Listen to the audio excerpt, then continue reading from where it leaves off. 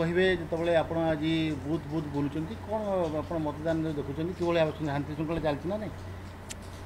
মু বুথ বুলিকি দেখুছি আউ শান্তি শৃঙ্খলা সহ ভাল রকম ভোট চালছে মতদান কাহা সপক্ষে যাব বলে আপনার আশা করছেন সেটা ভোটর মানে ভোট দেলা পরে কথাবার্তা করবে মু তো ভাবুছি মোর সপক্ষে যাব